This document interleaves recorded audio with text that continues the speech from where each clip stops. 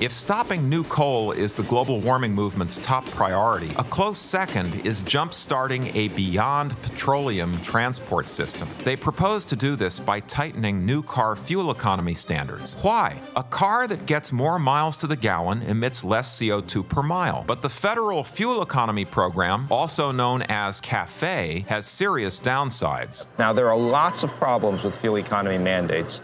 Um, for one thing, they raise new car prices. Secondly, they restrict consumer choice. But the worst thing is in the fact that you never hear their advocates talking about.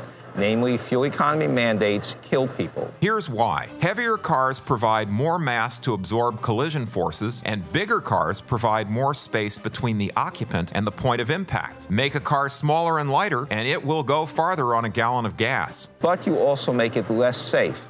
According to the National Academy of Sciences, the current CAFE standards, by downsizing cars, contribute to about 2,000 fatalities per year. Legislation Congress passed in December 2007 requires a 40% increase in fuel economy by 2020. In 2007, only two out of 1,153 vehicle models met the new standards, so expect more downsizing in the years ahead. Another beyond petroleum policy is to require the sale of alternative fuels. In December 2007, Congress also mandated that motor fuel producers sell 36 billion gallons of ethanol ethanol a year by 2022, with 15 billion gallons coming from corn kernels. The result? We're diverting massive quantities of grain from food to auto fuel. This contributes to the surge in global grain prices that is pushing millions of the world's poorest people to the brink of starvation. But at least ethanol cuts down on CO2 emissions, right? Actually, no. As we expand the cropland,